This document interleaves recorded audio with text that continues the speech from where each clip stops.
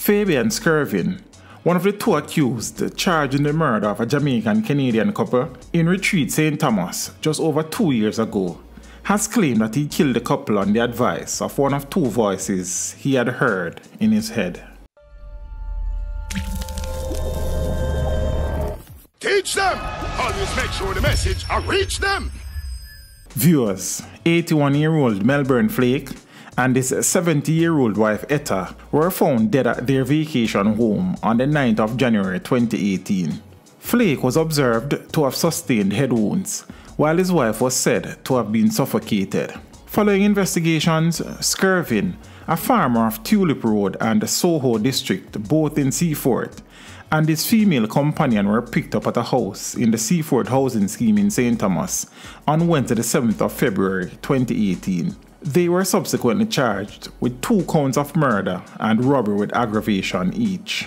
In July of 2018, the case was transferred to the St. Thomas Circuit Court. Skervin reportedly in a caution statement disclosed that two inner voices spoke to him, with one telling him to kill and the other saying no.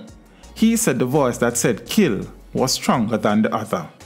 When the matter came up for mention on Wednesday the 5th of May before Justice Martin Gayle, attorneys for Skervin indicated that their client had been medically examined by a psychiatrist and found to be suffering from schizophrenia and hallucinations.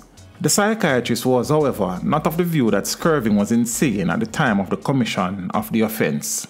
Skervin's defense team, led by senior counsel Anthony Williams, assisted by Julian Bailey, have however requested leave to engage the services of a forensic psychiatrist to conduct an independent review of that assessment. The defense intends to plead diminished responsibility, which, if successful, will see Skervin answering the lesser charge of manslaughter.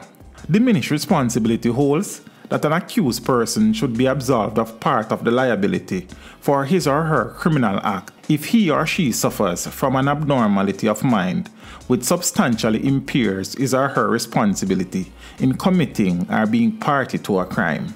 Prosecutors, in the meantime, are pressing for Skervin to answer to murder.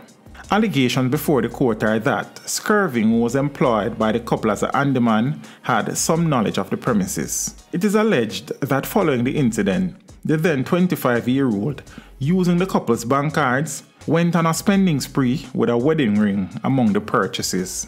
The matter will once again come up for mention on Thursday, the 13th of May, for a plea and case management hearing. Teach them! Hey, yo, hello! Send the message and make it reach them. It's teach them. Right here, Warlord representing. Thank you for watching. Like the video before you go. Please subscribe if you haven't done so. And remember to share the video with your friends and family. And browse the channel for more quality content. Until next time, walk good, my friends. Teach them!